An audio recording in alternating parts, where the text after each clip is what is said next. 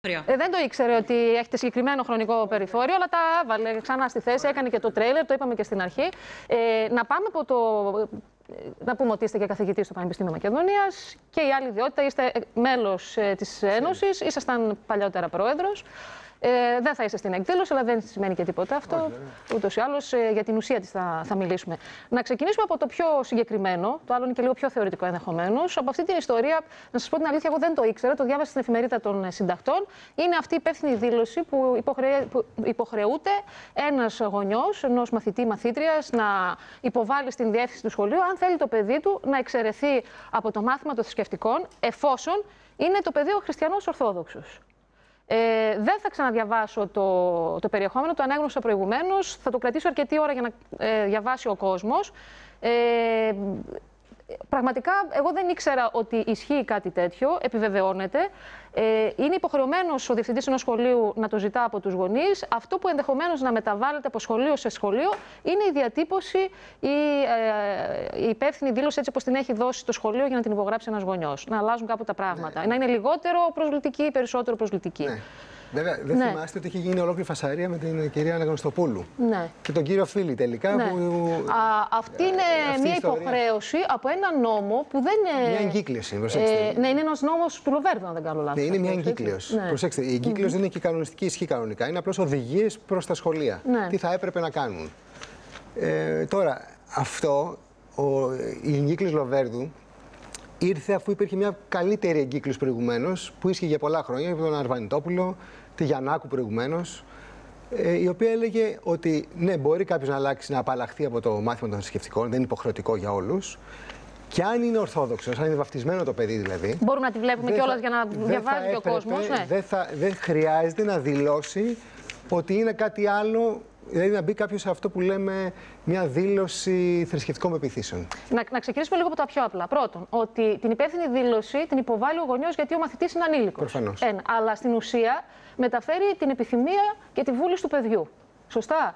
Ναι. Ε, γιατί θα πρέπει να υπάρχει ε, μια τέτοια υποχρέωση, να προβλέπεται μια τέτοια υποχρέωση από τον νόμο και να μην ε, υπάρχει κάτι άλλο, μια άλλη πρόβλεψη που να λέει να αρκεί η, προσ, η προφορική δήλωση του γονιού ότι το παιδί μου δεν θέλει να παρακολουθεί το μάθημα των θρησκευτικών. Γιατί δεν καταργείται τελείως; Κοιτάξτε, τα, τα πράγματα νομίζω ναι. είναι ξεκάθαρα με την έννοια ότι θα έπρεπε να είναι έτσι όπως το είπατε. Δηλαδή θα έπρεπε να, με καταδήλωση ο γονιός να δηλώνει αν θέλει ή δεν θέλει το παιδί του να απαλλαγεί από το μάθημα των θρησκευτικών, εφόσον το μάθημα των θρησκευτικών είναι περισσότερο ομολογιακού χαρακτήρα αυτή τη στιγμή, δηλαδή είναι ορθόδοξο. Εάν το μάθημα των θρησκευτικών ήταν ε, γενικά μια θρησκεολογική προσέγγιση της θρησκείας, τότε δεν θα έχει δικαίωμα απαλλαγή στο παιδί, όπως δεν έχει απαλλαγή από την ιστορία ή από τα μαθηματικά ή από άλλα μαθήματα. Έτσι. Mm -hmm. Άρα, εδώ υπάρχει η δυνατότητα εξαίρεση από αυτό το μάθημα, επειδή το κράτος δίνει στους μαθητές ένα περισσότερο ομολογικού χαρακτήρα μάθημα. Προς το Άρα λέτε ότι η κοντίτσιος Αυτό... είναι εκβανών για να προχωρήσουμε στην κατάργηση αυτής της πρακτικής είναι να αλλάξει χαρακτήρα το μάθημα. Αν άλλαζε. Τώρα, ναι, πάμε τώρα στο δεν αλλάζει. Τώρα, με δεδομένο ότι, δεν, ότι είναι έτσι πώ είναι. Ναι, με λιγότερο, δεν έχει αλλάξει. Ναι. Λιγότερο ή περισσότερο. Θυμάστε τη ναι, φασαρία ναι, ναι. που έγινε στην απόφαση του Συμβουλίου. Φαντάζομαι θα επανέλθει ο κύριος Φίλης το βράδυ σε αυτό το θέμα. Νομι... Στην ναι, πιθανόν. Ναι. Ε, τώρα, αφόσον είναι ομολογιακού χαρακτήρα κατά 70% το μάθημα, δεν είναι κατά 99% όπως ήταν προηγουμένως, το παιδί έχει δικαίωμα να απαλλαγεί. Τώρα, το θέμα είναι, αν, είναι, αν δεν είναι ορθόδοξο βαφτισμένο, ο νόμος λέει ότι αρκεί κατά δήλωση να απαλλαγεί. Γιατί δεν φαίνεται και στα χαρτιά του. Αν όμως είναι βαφτισμένο, και εκεί πάλι πάμε στην αρχή της ιστορίας με την διαγραφή από τις ταυτότητες, δηλαδή γενικά από τα χαρτιά, όπου πιστοποιείται ότι κάποιο παιδί έχει βαφτιστεί ή δεν έχει βαφτιστεί. Αυτό λοιπόν μας βάζει ήδη σε μια πολύ προβληματική οδό. Κάθε φορά να ανατρέχουμε στο γεγονός της βάφτισης ή όχι, που θα διατρέχεις ε, πρώτον, η, η βάφτιση είναι κάτι για το οποίο το παιδί δεν έχει επιλέξει Αυτό και γίνεται με τον τρόπο που ναι. γίνεται ειδικά στην Ορθόδοξη παράδοση. Δεν σε δεσμεύει η βάφτισή σου από τους γονείς σου για το τι θα είσαι στην πορεία, αλλά και δεν σε υποχρεώνει μετά να δηλώνεις κάτι. Γιατί μπορεί να είσαι Ορθόδοξος και να δηλώνεις Ορθόδοξος όποτε σου ζητήσουν και να μην θέλεις να το δηλώσεις και αυτό να μην έχει να κάνει με το μάθημα. Δηλαδή, εγώ είμαι Ορθόδοξη, αλλά δεν θέλω να παρακολουθώ το συγκεκριμένο ομολογιακού τύπου μάθημα. Και δεν θέλω να δηλώσω ότι δεν το παρακολουθώ επειδή δεν είμαι Ορθόδοξος ή είμαι Ορθόδοξος. Αφήστε που υπάρχει και το ναι. αντίστροφο. Ναι. Ακραίο μεν, αλλά υπάρχει και αυτό. Πολύ Ορθόδοξος, να το πω έτσι. Δηλαδή, Μήπως είναι ορθόδοξο, ναι. ότι τα βιβλία αυτά δεν είναι τόσο Ορθόδοξα ώστε να ικανοποιούν τις ομολογιακέ τις ανάγκες για mm κατήχηση του παιδιού μου. Ε... Αλλά αυτό τώρα μπορώ να σας το πω ότι είναι ακραίο. Αλλά σε κάθε περίπτωση δεν μπορεί, δεν νοείται στη σύγχρονη εποχή με το πλέγμα ανθρωπίνων δικαιωμάτων γενικότερα της θρησκευτικής ελευθερίας κάποιος να, να καλείται να δηλώσει αν είναι ή δεν είναι κάποιες θρησκείες. Το άλλο που έχω ψάξει, γιατί σε όλα τα σχολεία γίνεται αυτό, είναι ότι οι διευθυντές λένε στους γονείς προσέξτε τι θα υπογράψετε, γιατί τώρα μπορεί να λέει το παιδί ναι, σου. Αυτό είναι το δεύτερο. Ε, δεν θέλω να, να είμαι στο μάθημα παρότι είμαι Ορθόδοξος, γιατί αύριο μεθαύριο, αν θέλει να πάει σε μια στρατιωτική σχολή ή σε μια σχολή ε, αξιωματικών σωμάτων που χρειάζεται το θρησκευτικός όρκος, θα έχετε πρόβλημα. Ναι, τώρα προσέξτε. Ναι. Υπάρχει ότι αυτή η υπεύθυνη δήλωση, αν κάποιος κάνει ψευδή δήλωση, έχει, έχει mm -hmm. ποινικές ευθύνες. Τώρα εδώ καλούμαστε, καλείται δηλαδή ο γονιός να δηλώσει για το παιδί του κάτι το οποίο έτσι κι αλλιώς είναι ευμετάβλητο. Αυτό λοιπόν είναι ένα πολύ προβληματικό στοιχείο της όλης διαδικασίας. Ε, να δούμε λίγο τι θα απαντήσει, γιατί είναι στο τηλέφωνο και είναι λίγο δύσκολες οι συνθήκες. Η κυρία Γιανακάκη είναι ε, Γενική Γραμματέας του Υπουργείου Δικαιοσύνης για θέματα ανθρωπίνων δικαιωμάτων. Καλημέρα από τη Θεσσαλονίκη. Καλημέρα από τη Βαρσοβία. Α, ε, και εκεί τα, τα ανθρώπινα δικαιώματα είναι λίγο περίεργα στην, ε, στην ε, Πολωνία, ναι, ειδικά με τους πρόσφυγες. μόλις, μόλις έστασα ε, για την ε, σύνοδο του ΟΑΣΕ ε, και έχετε δίκιο ότι υπάρχουν ζητήματα με τους πρόσφυγες, αλλά σε σχέση με το ποια είναι η αντιμετώπιση ε, στην Ουγγαρία, μπορώ να πω ότι εδώ είναι παράδεισος. Μάλιστα. Ναι, ναι, όντως, άμα το συγκρίνει κανείς με την Ουγγαρία. Κυρία Βιέρη, πάντα έχει υπάρχει το χειρότερο, Το χειρότερο, ε. Ε, τώρα, σε σχέση με το συγκεκριμένο, να ξεκινήσουμε από αυτή την ιστορία με την υπεύθυνη δήλωση που είναι υποχρεωμένη να υπογράψει. Ακριβώς. Και εγώ, και εγώ θα σας πρότεινα να ξεκινήσουμε από εκεί, γιατί έτσι θα δέσουμε και πολύ ωραία το, το άλλο θέμα ε, που θα συζητήσουμε. Καταρχήν, να τα πάρουμε τα πράγματα από την αρχή για να ξέρουμε για το, για το τι μιλάμε. Ε, η ισχύουσα εγκύκλιο είναι μια εγκύκλωση η οποία βγήκε το 2015 από Υπουργό τότε Παιδείας, τον κ. Λοβέρδο, η οποία ήρθε να θεραπεύσει ε, με τη νομική έννοια του όρου, ε, μη, την προηγούμενη εγκύκλιο Αρβανιτόπουλου, την οποία είχε προσβάλει ε, στο, στα διοικητικά δικαστήρια η Ένωση Θεολόγων Χανίων ε, και έτσι έχουμε μια απόφαση του Διοικητικού Εφετείου Χανίων, νομίζω ότι είναι ε, η 115 του 2012, του 2012 είναι σίγουρα τον αριθμό της δεν θυμάμαι. Δεν έχει σημασία, δεν πειράζει το 12. Ναι, ακριβώς. όπου εκεί λοιπόν την κερδίζουν. Η απόφαση λοιπόν του διοικητικού εφετείου λέει ότι σύμφωνα με το Σύνταγμα και με τους νόμους, η ερμηνεία που κάνει, θρησκευτική συνείδηση αφορά μόνο σε αλλόφρουσκους μαθητές και όχι σε χριστιανούς ορθόδοξους. Άρα κάποιος για να απαλλαγεί από το μάθημα των θρησκευτικών πρέπει να δηλώσει ότι δεν είναι, δεν επιθυμεί πλέον να είναι χριστιανός ορθόδοξος. Τι γίνεται τώρα; Δεν, γίνεται, δεν επέρχεται καμία αλλαγή. Ο κύριος Αρβανιτόπουλος, τότε ο Υπουργός Παιδείας, δεν αλλάζει την εγκύκλιο. Και προσφεύγουν για δεύτερη φορά η Ένωση Θεολόγων ε, Χανίων στο Διοικητικό Εφετείο, όπου βγάζει απόφαση για συμμόρφωση. Οπότε η εγκύκλειος Λοβέρδου και η οποία είναι αυτή η οποία ισχύει σήμερα έρχεται ως υποχρεωτική συμμόρφωση Ωραία, με την θα, τα περιγράψετε και πολύ εύληπτα. Η ερώτηση μου είναι και δεν ξέρω αν, μπορεί, αν θέλει και ο κύριος Τσιτσελίκης που είναι εδώ πρώην πρόεδρος της Ένωσης να ρωτήσει γιατί όλα αυτά δεν αλλάζουν μια απλή κίνηση να, με ένα νόμο που να λέει ότι δεν είναι υποχρεωτική αυτή η υπεύθυνη δήλωση. Ότι δεν χρειάζεται να δηλώνεις κάτι. Δεν χρειάζεται νόμος. Δεν χρειάζεται νόμος. Τίποτα. Με μια νεότερη εγκύκλη. Με ένα νεότερο νόμο. Να έρθει δηλαδή ένας νεότερος νόμος για να μην χρειαστεί να έρθει ένα δικαστήριο και να ερμηνεύσει. Δεν μπορώ να τον ακούσω. Αν θέλετε να μου μεταφέρετε. Ε, θέλετε να υποβάλλετε το ερώτημα, κύριε Τσέλη, κατευθείαν. Αν, όχι, το ερώτημα ήταν, κυρία Γιανακάκη, αν ε, απλούστατα να αλλάξει αυτό, αυτή η εγκύκλιο με μια νεότερη εγκύκλιο αντί να ναι. έχετε ενδεχομένως με μια διάταξη νόμου, ώστε να λυθεί αυτό το ζήτημα το οποίο πλέον ε, ταλανίζει νομίζω υπερβολικά παραπάνω από όσο το αξίζει την όλη Ακριβώς. δημόσια συζήτηση. Και, θα, θα συμφωνήσω πολύ μαζί σας. Γνωρίζετε όμως ότι από τη στιγμή που πρόκειται για συμμόρφωση σε απόφαση δικαστηρίου δεν, ε, δεν αρκεί μία εγκύκλιος. Και πάμε λοιπόν τώρα στο. Τι, τι χρειάζεται, θέμα. κυρία Γιανακάκη, μεγαλύτερης τυπικής πρέπει... ισχύω νόμος; Α, ακριβώς και εδώ πέρα λοιπόν μιλάμε για ένα ζήτημα το οποίο έρχεται να αντιμετωπιστεί μέσα στο νέο πρόγραμμα των θρησκευτικών. Και για, να τα, για να το λύσουμε το άλλο. Αν έρθει ένας νόμος, υπο... κυρία Γιανακάκη, φαντάζομαι ότι το Υπουργείο Παιδείας θα πρέπει να το φέρει και όχι το δικό σου Υπουργείο. Αν έρθει ένας νόμος που θα έχει αυξημένη τυπική ισχύ από το Κοινοβούλιο, θα μπορέσει να καλύψει αυτή την, ε, να ανατρέψει αυτή την κατάσταση; Μα, δεν χρειάζεται δεν χρειάζεται καν νόμος. Ε, ε, χρειάζεται το εξής, να υπάρξει μία νέα θεώρηση των πραγμάτων και αυτό θα κριθεί και στις 21 του Σεπτέμβρη για να πάμε και στο άλλο θέμα που είπαμε ότι θέλουμε να συζητήσουμε ε, όσον αφορά στο νέο πρόγραμμα ε, διδασκαλίας των θρησκευτικών, τι αυτό σημαίνει, ποιοι έχουν ε, προσφύγει στο Συμβούλιο της Επικρατείας και τι αποφάσεις βγάζει το Συμβούλιο της Επικρατείας.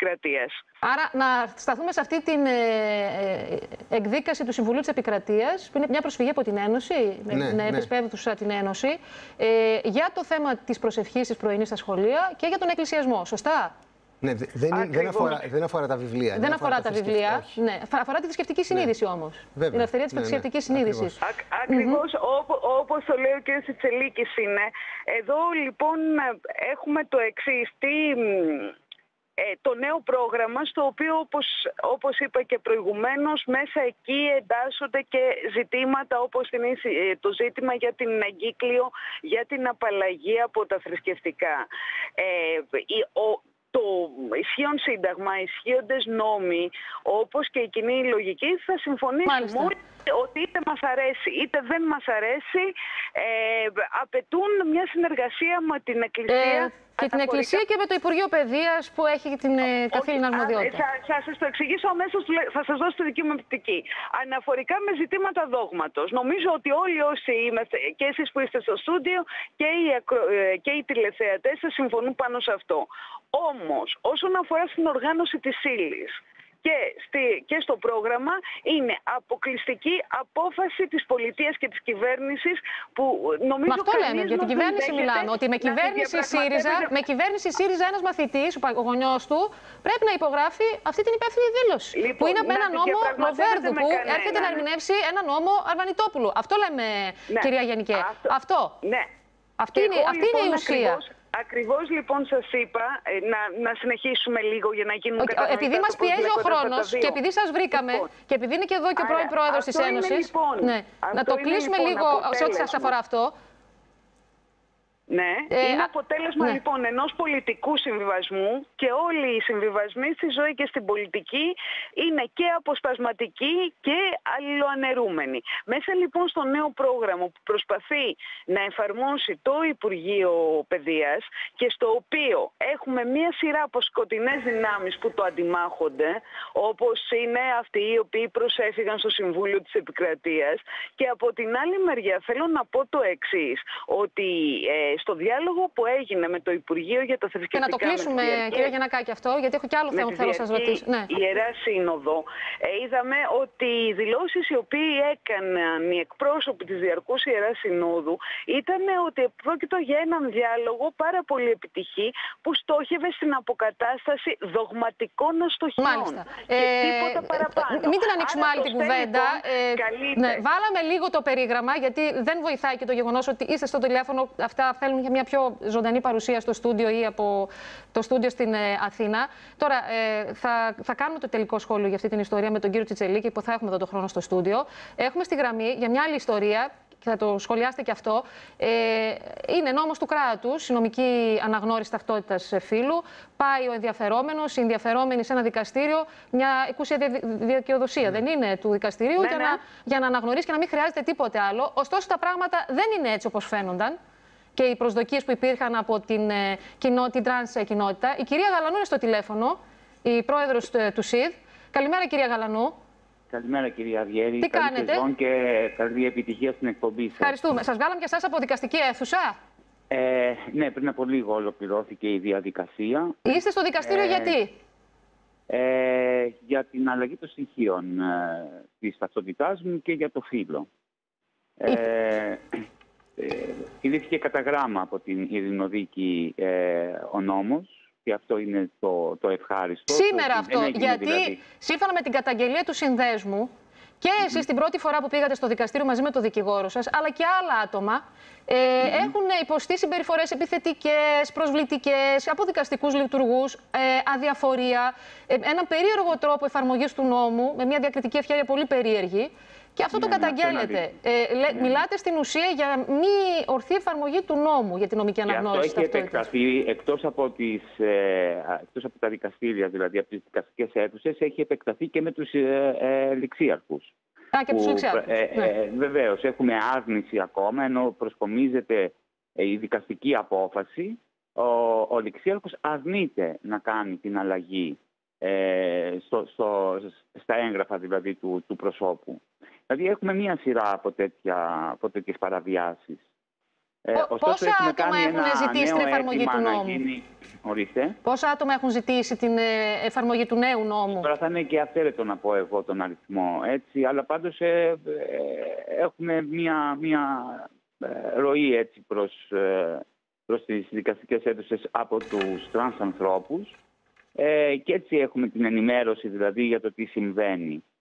Ε, Ε, εσύ- και ε, έχουμε δει ότι παραβιάζεται δηλαδή ο νόμος, τον παραβιάζουν δυστυχώς οι ίδιοι οι δικαστές, ε, που δεν γίνεται όπως προβλέπει ο νόμος σε, σε ιδιαίτερο χώρο. Γίνεται εκεί, ε, γίνονται ερωτήσεις οι οποίες είναι άκρως κακοποιητικές.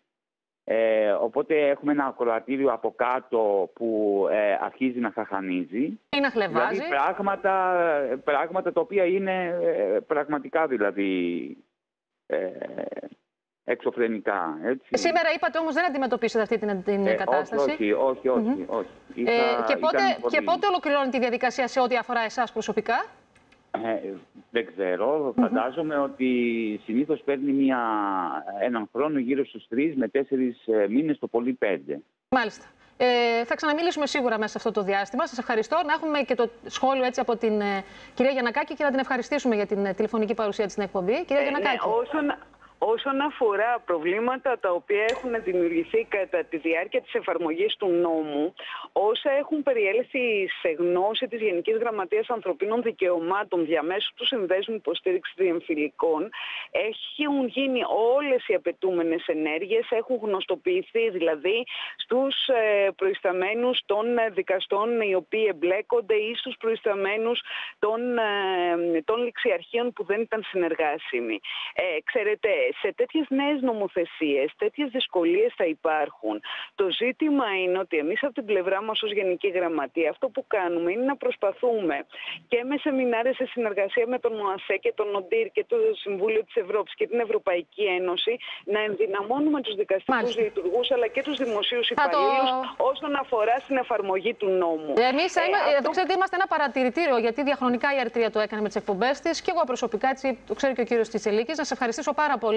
Στο Επανειδήν, στο Θέλω, Επανεκούιν. θέλω μισή Ναι. κουβέντα μόνο. Παρακαλώ. Ε, το- όσον αφορά στο Συμβούλιο της Επικρατείας, λοιπόν, ε, θα πρέπει λίγο να σταθμίσει τα πράγματα ε, και να ε, πάρει μια απόφαση. Θέλει να σταθεί στο πλευρό της επίσημης ιεραρχίας ή Για τα στο, θρησκευτικά, στο λέτε, ναι. πλευρό κύκλων οι οποίοι απεργάζονται διάφορα σχέδια και σενάρια. Αυτό αφορούσε στο πρώτο θέμα, το οποίο θα πρώτο σχολιάσουμε και με τον κύριο Τσιτσελίκη για την ε, υπόθεση του εκκλησιασμού, της προσευχής αλλά και των θρησκευτικών. Κύριε Τσιτσελίκη, πολλά τα πράγματα.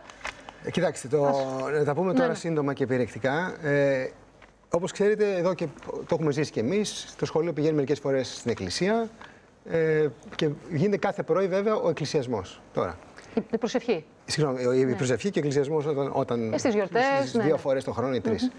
Τώρα, το θέμα είναι ότι αυτό ενέχει ακόμα και αν δεν ρι- δηλώνεται ρητά ότι είναι υποχρεωτική η συμμετοχή, γιατί προφανώς ο αλόδοξος ή αλόθρησκος μπορεί να πάρει απαλλαγή από αυτές τις δύο εκδηλώσεις του σχολείου. Το θέμα πρακτικά είναι ότι το παιδί είναι υποχρεωμένο να ακολουθήσει, ειδικά στον, εκκλη- στον, στην πρωινή προσευχή. Δηλαδή, και το δεύτερο είναι ότι δεν υπάρχει εναλλακτική λύση στο χρόνο που θα μείνει εκτός σχολείου.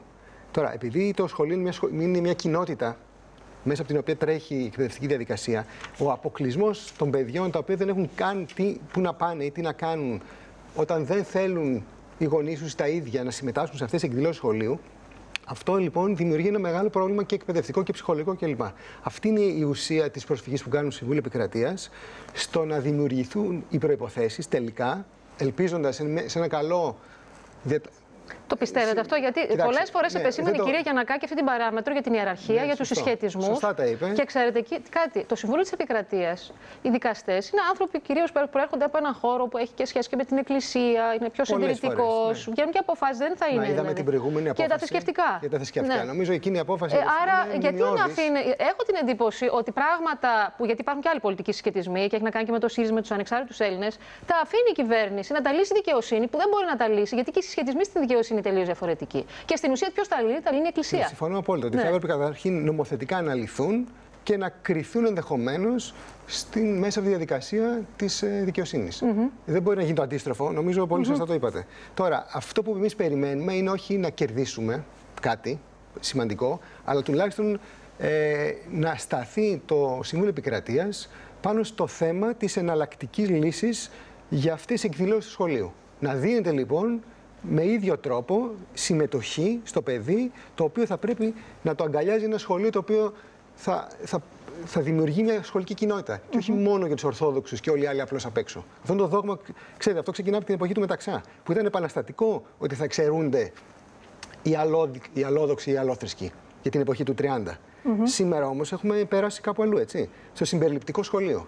Και αυτό είναι και το νόημα των αποφάσεων του δι- του Δικαστηρίου του Στρασβούργου, που μας λέει ότι θα πρέπει το σχολείο, σαν σχολική κοινότητα, να συμπεριλαμβάνει τα παιδιά και όχι να τα αποκλείει, έστω και με την έννοια της της, ε, της απαλλαγής. Ε, λίγο έτσι καταχράστηκα το χρόνο σας, αλλά νομίζω ήταν και ενδιαφέροντα ναι, τα δεν- θέματα. όχι, έχω ακόμα πέντε λεπτά ή δύο. Ε, σήμερα είναι αυτή η εκδήλωση Ναι, στην Αθήνα. ακριβώς. Ε, και με πολύ σημαντικούς ομιλητές. Είναι ο πρώην Υπουργός Παιδείας. Ε, να μην ξεχνάμε ότι το θέμα των θρησκευτικών του στέρισε για την υπουργική του καρέκλα. ουσιαστικά, ναι. Θα έχει πολύ ενδιαφέρον να δούμε τι Έτσι θα πει. νομίζω Είναι κι ο εγώ. κύριος Θεοδωράκης που ε, φαίνεται ανοιχτό σε τέτοια θέματα. Έδωσε και ψήφο εμπιστοσύνη στον νόμο για την αναγνώριση Ακριβώς, ναι. φύλου. Αλλά τώρα διαμορφώνονται και τελείως διαφορετικά οι Αυτό. συσχετισμοί. Είναι πάρα πολλά θέματα πολιτικής, θεολογίας, κοινωνίας.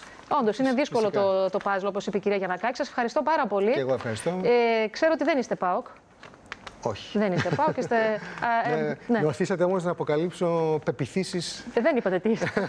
ναι, είδατε ένα λάθος έκανα. Σας οδήγησα να. Θα μπορούσατε να πείτε δεν δηλώνω. Ναι, πιο σωστό θα ήταν. Θα ήταν πιο σωστό. Ε, ζητώ συγγνώμη εγώ γιατί σας ανάγκασα να κάνετε δήλωση